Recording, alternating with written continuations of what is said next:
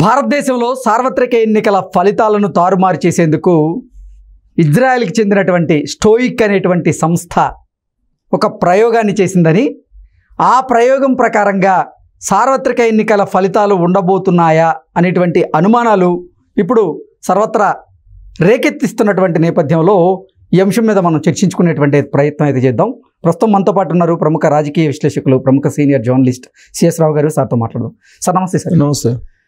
Sir భారతదేశంలో సార్వత్రిక ఎన్నికల ఫలితాలను తారుమారు చేసేందుకు ఇజ్రాయెల్కి చెందినటువంటి స్టోయిక్ అనేటువంటి ఒక సంస్థ వారి టెక్నాలజీతో ఇక్కడ కొన్ని ప్రయోగాలు చేసింది అంటూ ఒక వార్త ఇప్పుడు సోషల్ మీడియాలో చక్కర్లు కొడుతున్న నేపథ్యంలో. ఏంటి సార్? ఆ ప్రయోగాల వల్ల ఈ సార్వత్రిక ఎన్నికల ఫలితాలలో మార్పులు వచ్చే అవకాశం ఉందా? అసలు ఏం జరగబోతుంది అంటే ఏం చెప్తారు? ఒకటి ఏంటంటే భారత ఎన్నికల ఫలితాల మీద ప్రత్యేకించి తెలుగు రాష్ట్రాల ఫలితాల మీద కూడా మనం పలు సందర్భాల్లో ఇజ్రాయెల్ టెక్నాలజీని ప్రయోగిస్తున్నారు ఈవీఎంలను ఏదో టచ్ చేయబోతున్నారు ఫలితాలను తారుమారు చేయబోతున్నారు అనేటువంటి విశ్లేషణలు చేసుకున్నాం ఆ Hmm. సందర్భంగా నెట్జన్లు కూడా చాలా మంది ఆ, వ్యతిరేకించారు కొంతమంది ఏమో నిజమే అని చెప్పేసి అంగీకరించారు Hmm. రకరకాల భిన్నాభిప్రాయాలను వ్యక్తం చేశారు Hmm. అయితే భారత ఎన్నికల మీద ఫలితాలను తారుమారు చేసేందుకు ఇజ్రాయెల్ సంబంధించినటువంటి స్టోయిక్ అనేటువంటి సంస్థ ఆర్టిఫిషియల్ ఇంటెలిజెన్స్ అనేటువంటి టెక్నాలజీలో కొత్త అడ్వాన్స్డ్ టెక్నాలజీని ప్రయోగించింది. ప్రయోగించి ఏఐ టెక్నాలజీని ఏఐ టెక్నాలజీని ప్రయోగించి ఫలితాలని తారుమారు చేసేందుకు ప్రయత్నం చేసింది అని చెప్పేసి ఓపెన్ ఏఐ అనేటువంటి సంస్థ బయటపెట్టింది. ఓకే. ఓపెన్ ఏఐ అనేటువంటి సంస్థ. బయటపెట్టింది స్టోయిక్ అనేటువంటి సంస్థ ఈ విధంగా చేసిందని ఏంటి. ఎక్కడిది ఈ స్టోయిక్ సంస్థ అంటే ఇజ్రాయెల్ సంబంధించింది అక్కడ. ఏం చేస్తుంది ఈ సంస్థ ఈ ప్రైవేట్ సంస్థ అని అంటే అక్కడ రాజకీయపరమైనటువంటి అంశాలని అలాగే రాజకీయాల్లో రకరకాల కోణాలని బయటకు తీసి దాన్ని ప్రజల్లోకి తీసుకొచ్చి ప్రజల భావోద్వేగాలను వాళ్ళు అనుకున్నటువంటి పార్టీలకు అనుకూలంగా మలుచుకునేటువంటి సంస్థగా ఆ సంస్థ ఆ టెక్నాలజీ ఉపయోగిస్తుంది అనేది ఇజ్రాయెల్ నుంచి వచ్చినటువంటి ఇన్ఫర్మేషన్. అది ఓపెన్ ఏఐ అనేటువంటిది బయటపెట్టింది అఫీషియల్గా బయటపెట్టింది దాని దానికి సంబంధించి కేంద్ర సాంకేతిక మంత్రులు కూడా టెక్నాలజీ సంబంధించినటువంటి కేంద్ర మంత్రులు కూడా స్పందించారు. ఇజ్రాయెల్ ఇలా చేస్తుంది అనుకోలేదు. ఇజ్రాయెల్ అయితే ఇలా ప్రయత్నాలు చేసిందని చెప్పి కేంద్ర మంత్రులు కూడా ఒప్పుకుంటున్నారు ఇప్పుడు. భారత ఎన్నికల మీద ప్రభావం చూపిస్తుందని. సో ఎవరిని ప్రభావితం చేయడానికి ఈ సంస్థ ప్రయత్నం చేసింది? ఎన్నికల ఫలితాలు ఏ విధంగా తారుమారు చేయడానికి ప్రయత్నం చేసింది అనే దాని మీద కొంత కూలంకుషంగా కూడా ఓపెన్ ఏఐ వివరించింది. ఉమ్. భారతీయ జనతా భారతీయ జనతా పార్టీ బీజేపీ బీజేపీకి వ్యతిరేకంగా అది పనిచేయడానికి ప్రయత్నం చేసింది. కాంగ్రెస్ పార్టీకి అనుకూలంగా ప్రచారం చేయడానికి ఆ టెక్నాలజీని ఉపయోగించారు అనేది ఆ నివేదికలో ఉండేటువంటి సారాంశం. ఓకే. ఎలా ప్రభావితం చేసింది? ఆ టెక్నాలజీ ద్వారా ఇజ్రాయెల్ స్టోయిక్ అనేటువంటి సంస్థ అని అంటే ఫేస్బుక్ ఇన్స్టాగ్రాము ఇలా రకరకాల సోషల్ మీడియా వేదికలు ఉన్నాయి కదా.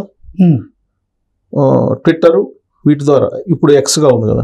ఈ సోషల్ మీడియాలో ఉండే ప్రధానమైనటువంటి వేదికల ద్వారా వేదికల మీద ఈ టెక్నాలజీని ప్రయోగించి భారతీయ జనతా పార్టీ ప్రచారానికి సంబంధించినటువంటి అంశాలని విస్తృతంగా ప్రచారం చేయకుండా కట్టడి చేయడంతో పాటు కాంగ్రెస్ పార్టీకి అనుకూలమైనటువంటి ప్రచారాన్ని చేయడానికి ఈ టెక్నాలజీని ఉపయోగించారు అనేది ఓపెన్ ఏఐ చెప్పినటువంటి సారాంశం ఓకే. సో అది స్టోయిక్ అనేటువంటి సంస్థ ఏ విధంగా ప్రభావితం చూపించిందని.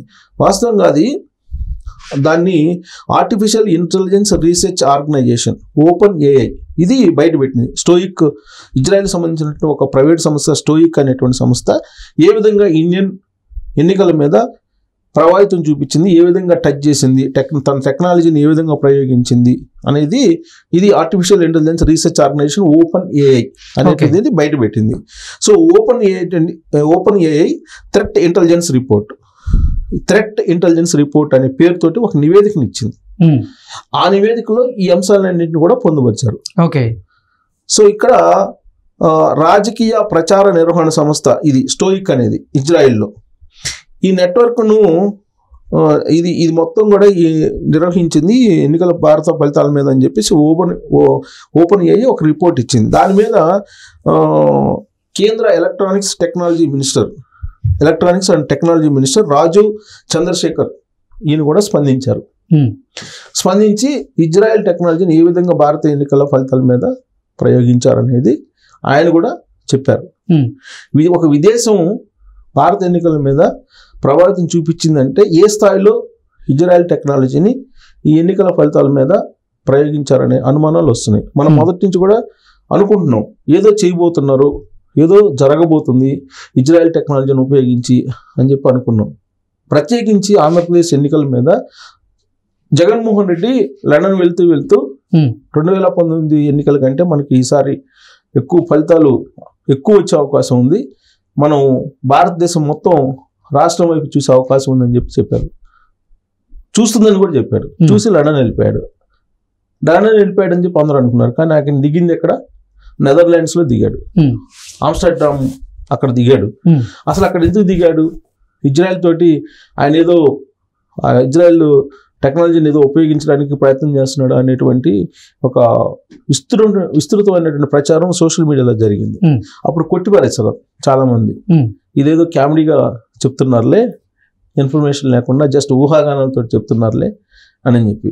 సరే ఆంధ్రప్రదేశ్లో జగన్మోహన్ రెడ్డి ఇజ్రాయెల్ తోటి ఇజ్రాయెల్ టెక్నాలజీ తోటి లేదా ఇజ్రాయెల్ ప్రైవేట్ సంస్థతోటి ఆయన ఏమన్నా చేశారా అనేటువంటి అనుమానాలు ఇప్పుడు వస్తున్నాయి. దాన్ని బలపరచాలా ఇప్పుడు అఫీషియల్గానే కేంద్ర మంత్రి కూడా స్పందించారు కదా. టోటల్గా అసలు భారత ఎన్నికల ఫలితాలని తారుమారు చేసేలాగా ఏ అక్కడ ఆస్ట్రాయిక్ అనేటువంటి సంస్థ పనిచేసిందని చెప్పి నివేదిక అఫీషియల్గా ఇచ్చారు కదా ఇప్పుడు. థ్రెట్ ఇంటెలిజెన్స్ రిపోర్ట్ ఇచ్చింది కదా. థ్రెట్ ఇంటెలిజెన్స్ రిపోర్ట్ అని ఒక పేరు పెట్టి ఓపెన్ ఏఐ ఇచ్చినటువంటి నివేదిక. ఉమ్, ఇజ్రాయెల్ తోటి ఇజ్రాయెల్ టెక్నాలజీ తోటి సంబంధం జగన్మోహన్ రెడ్డికి ఏంది అని అంటే ఇజ్రాయెల్ టెక్నాలజీని ఉపయోగించే కదా ఇక్కడ ఇల్లీగల్గా తెలంగాణలో కేసీఆర్ ఫోన్ ట్యాపింగ్ చేయించింది. ఉమ్, అది ఆల్రెడీ ఇన్వెస్టిగేషన్లో బయటపడుతుంది కదా. ఇక్కడ కేసీఆర్ ఏం చేశారో అక్కడ జగన్మోహన్ రెడ్డి కూడా అదే చేస్తారు కదా. అంటే ఇజ్రాయెల్ తోటి ఇల్లీగల్గా ఇజ్రాయెల్ తోటి డీల్స్ చేశారు అనేటువంటి అనుమానాలు ఉన్నాయి కదా ఇప్పుడు. మరి అలాంటప్పుడు జగన్మోహన్ రెడ్డి ఏదైనా చేస్తారు? ఇవాళ సోషల్ మీడియాలో ఫోటోలు వస్తున్నాయి. వెళ్ళేటప్పుడు ఫుల్ లోడెడ్ విమానం వెళ్ళిందంట ఫ్లైట్. Full loaded. మొత్తం నింపుకొని వెళ్ళారు విమానంలో. వచ్చేటప్పుడు రెండు సూట్ కేసులతో వచ్చారు. మరి ఫుల్ లోడెడ్గా వెళ్ళినటువంటి విమానం వచ్చేటప్పుడు రెండు సూట్ కేసులతో ఎందుకు వచ్చినాయి. అసలు ఫుల్ లోడ్ చేసుకుని ఏం తీసుకెళ్ళారు? వచ్చేటప్పుడు రెండు సూట్ కేసులతో ఎలా వచ్చారని చెప్పేసి వాళ్ళ సోషల్ మీడియాలో ఫోటో వైరల్ అవుతుంది. ఉమ్, అంటే ఇజ్రాయెల్ టెక్నాలజీని మనం ఊహించలేం. అది ఏ స్థాయిలో ఏ విధంగా అడ్వాన్స్డ్ ఉందో ప్రపంచవ్యాప్తంగా ఉండేటువంటి అన్ని దేశాల కంటే అత్యాధునికమైనటువంటి టెక్నాలజీ ఇజ్రాయెల్లో ఉంది. టెక్నాలజీని మనం కనుక్కోవటం దాన్ని ఉపయోగించడం కూడా కష్టంగా ఉంది వాళ్ళ కనుక్కోవడం తర్వాత సంగతి. దేవుడు ఉమ్, మనం దాన్ని ఉన్నటువంటి టెక్నాలజీని రైట్ వేలో ఉపయోగించలేనటువంటి పరిస్థితిలో మనం ఉన్నాం. కాబట్టి టెక్నాలజీని ఏ స్థాయిలో ఏ ఎండ్లో ఉపయోగిస్తారో కూడా మనకు తెలియదు పైగా ఈయన లండన్ వెళ్తూ వెళ్తూ ఐప్యాక్ తోటి సంబంధం లేక ఐప్యాక్ రిపోర్ట్తో సంబంధం లేకుండా ఈయనే వెళ్ళి ఐప్యాకే చెప్పాడు.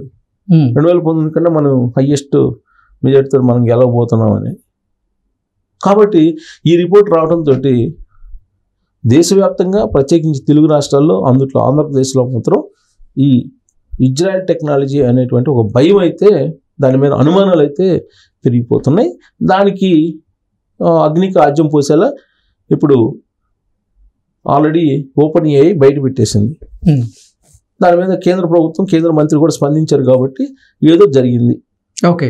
అనేది. ఏం జరిగిందని జూన్ నాలుగో తారీఖు ఫలితాలు వెల్లడైన తర్వాత కానీ మనకు అర్థం కాదు. అంటే ఆ ప్రభావం ఫలితాల మీద ఉండే అవకాశం ఉందంటారు? నేను చెప్పడం కాదు కదా కేంద్ర మంత్రి ఆయనే చెప్పాడు కదా. ఓకే. కేంద్ర మంత్రి చెప్పాడు కదా. వాళ్ళు ఇచ్చినటువంటి report threat threat intelligence report ఇచ్చారు కదా. సార్ ఓవరాల్గా భారతదేశం మొత్తం మీద జరిగిందా? లేదంటే కొన్ని కొన్ని రాష్ట్రాల్లో మాత్రమే ఏఐ టెక్నాలజీని వాడి ఎన్నికల ఫలితాలను తారుమారు చేసేటువంటి ప్రభావం అంటే అంటే ఓవరాల్గా భారతదేశం మొత్తం కూడా దీన్ని ప్రయోగించారు అని చెప్పి ఆ థ్రెట్ ఇంటెలిజెన్స్ రిపోర్ట్లో ఓపెన్ ఏఐ ఇచ్చినటువంటి రిపోర్టు ఓకే. సరే అంతలా చేశారా? లేదంటే వాళ్ళకి అందుబాటులో ఉన్న చోట చేశారా అనేది తెలియదు జనరల్గా అంతటా చేసి చేయడానికి అవకాశం ఉండదు. ఎక్కడ దొంగతనం ఎక్కడ చేస్తారు? ఎక్కడైతే దొరకకుండా ఉంటారో అక్కడ చేస్తారు.